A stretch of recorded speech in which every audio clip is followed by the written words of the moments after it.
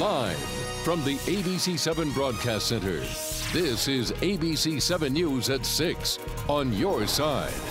The Senate is working late tonight as the battle continues over the $1.1 trillion spending bill. Yes, lawmakers have decided to give themselves more time on this. Senior political reporter Scott Thuman is live in the newsroom with the new deadline. Scott. Yeah, Gordon Maureen, the House voted late this afternoon to keep the government running until midnight on Wednesday. That is the new deadline. It was supposed to be tomorrow at midnight, but time clearly running out for the Senate.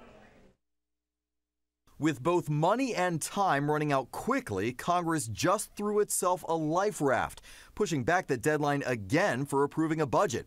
Why the procrastinating?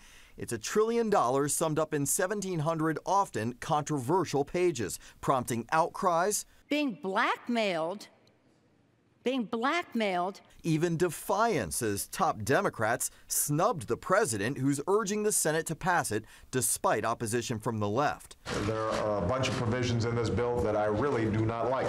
This, by definition, was a compromise bill. In Congress, at the last part of session, that there's a little bit of drama is like saying that the sun is coming up tomorrow morning. Of greatest debate, the spending bill weakens some Wall Street regulations makes major changes to campaign finance laws, diminishes the national school lunch standards advocated by the First Lady, and blocks Washington, D.C.'s new initiative legalizing marijuana use. All right, well, if you are frustrated by it, you're hardly alone.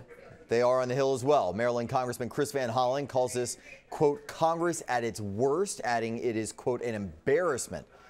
Of course, he's on the House side, which already approved the bill and went home for the holidays. Now the Senate can't leave until it comes to some sort of resolution as well. Maureen. Thank you so much, Scott.